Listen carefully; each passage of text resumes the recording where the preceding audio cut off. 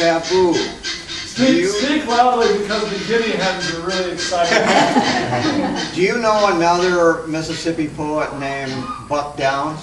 No, I Ever heard of him? Oh, okay. He lives in Washington DC. I just was, you said, in one of your poems, you said something that reminded me of some of the things that he's written. and I just wondered if you know that. And the name is Buck Downs. Uh, I'll write that down, thank you. Other questions? From human beings, not from guinea hens? I have a question also for Fabu, actually. So, being the first African American anything is always, I'm sure, very, you know, just has a lot of challenges, very difficult. And I'm wondering if being the first African American poet laureate of Madison, just what was your experience uh, in that? Was it just exclusively positive? Was the culture prepared for that? Or did you feel like you were having to pioneer a lot of uh, pathways that just weren't, set? Well, thank you, Nick. That's a really good question. Uh, first of all, it really hurt me a lot in Madison too.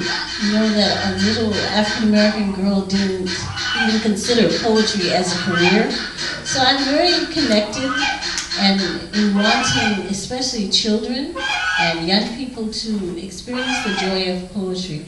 Because even if you don't want to be a professional or make a career out of it, poetry is a wonderful way to just express yourself in the world and to be healed. It was a fantastic opportunity because it stretched me further than I uh, thought I ever could be stretched.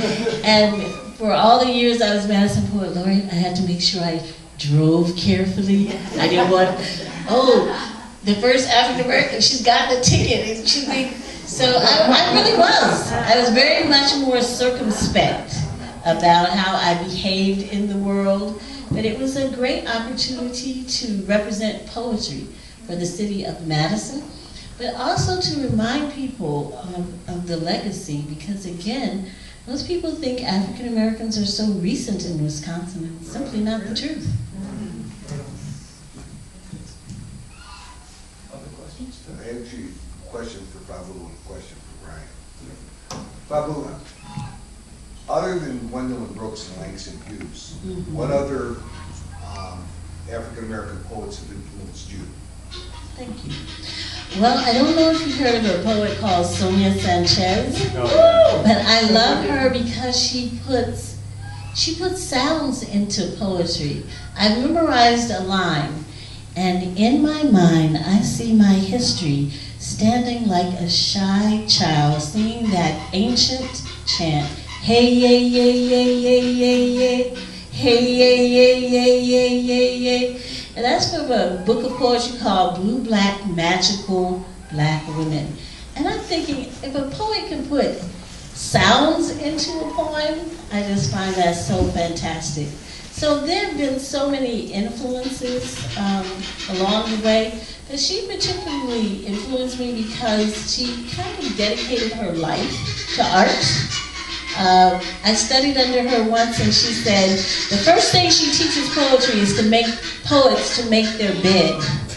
If you can't have the discipline of making your bed every morning, so I really enjoyed her. She's one of uh, what is she called? The 1960s poets, but I really, really love her work, and I love the life of commitment that she has to herself and to the world.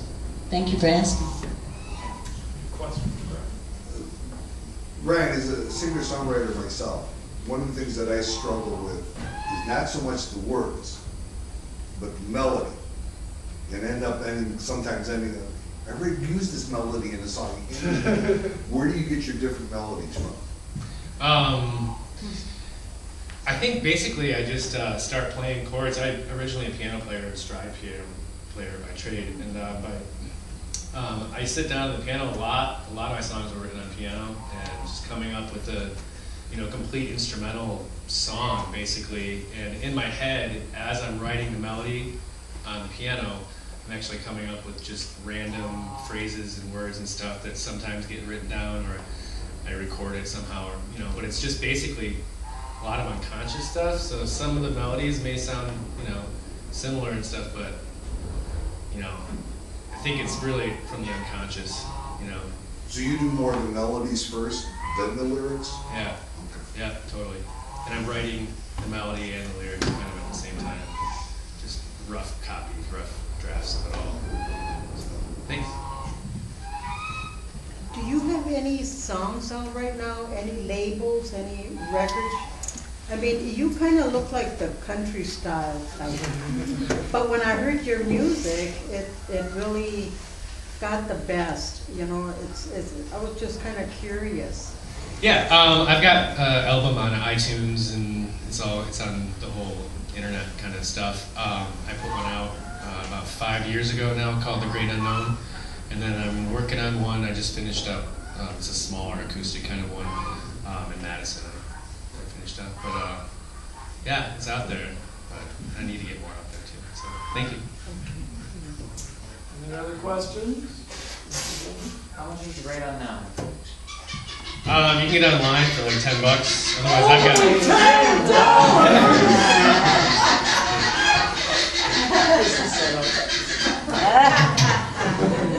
Any other questions? Going once, going twice.